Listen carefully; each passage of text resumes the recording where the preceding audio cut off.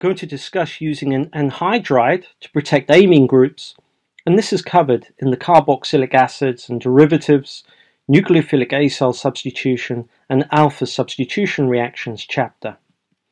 And the first thing we're going to discuss is why would we want to protect an amine? And amines are really good nucleophiles. Amines react with a wide range of different electrophiles. The lone pair on the nitrogen can attack a wide variety of electrophiles to form products of this type here. So if we want to prevent an amine acting as a nucleophile, we can protect it. And a classic way of protecting an amine is to convert it into an amide group. In the amide group, the lone pair on the nitrogen is stabilized by conjugation. We can delocalize the lone pair from the nitrogen onto the oxygen. As we stabilize this lone pair, it makes it much less nucleophilic. So an amide is a much less nucleophilic group than an amine. One problem though with using amides as protecting group in synthesis is that we need quite harsh conditions to break the amide bond to recover the amine at the end of the reaction. So what we need to do is we want a protecting group that stabilizes the lone pair on nitrogen, but also is easy to deprotect. And that's what we have with a carbamate functional group. In a carbamate, just as for amides, we can delocalize the lone pair onto the oxygen. But an advantage of using carbamates is that they are easier to deprotect than amide groups, so they are mo more commonly used as protecting groups in synthesis. Let's now have a look at one commonly used amine protecting group, and this is the so-called Boc group. And here is the Boc group, which is the tertiary butyl oxycarbonyl group. And uh, you can see the lone pair on the nitrogen is stabilized by conjugation with the carbonyl group. So a Boc protected amine is much less nucleophilic than an amine itself.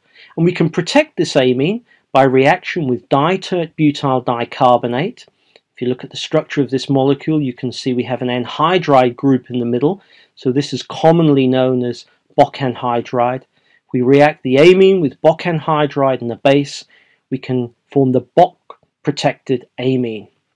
We can then recover the amine at the end of our synthesis by treating this compound with acid, typically trifluoroacetic acid or trifluoroethanoic acid with the abbreviation TFA. So if we treat the Boc protected amine with TFA, we can recover the amine. So we have these two steps. We can introduce the Boc group in a protection step, and then we can recover the amine in a deprotection step. Let's now have a look at the use of the Boc group in synthesis. And we're going to look at the transformation of this compound here to the molecule at the bottom. And what we're going to consider is the conversion of the ketone into the alkene. And this can be achieved in two steps. In the first step, we need to reduce the ketone to form an alcohol, and in the second step, we can then eliminate the alcohol to form the carbon-carbon double bond.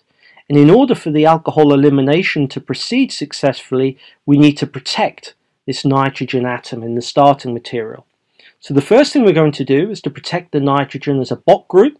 So we react the amine with Boc anhydride in the presence of base, and the secondary amine is converted into the Boc carbamate.